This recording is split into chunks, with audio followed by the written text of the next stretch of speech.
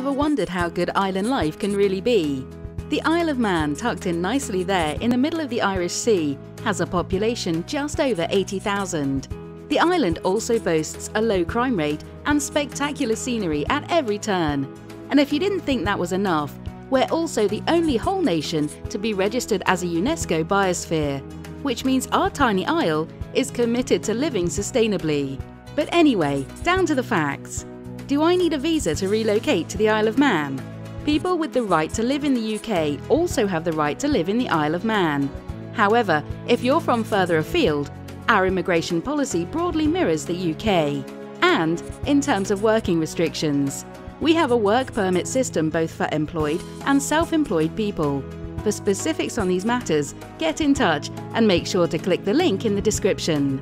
Relocating business to the Isle of Man. The Isle of Man is very business friendly, so it's an easy place to start or relocate. Companies enjoy 0% corporate tax whilst VAT mirrors the UK.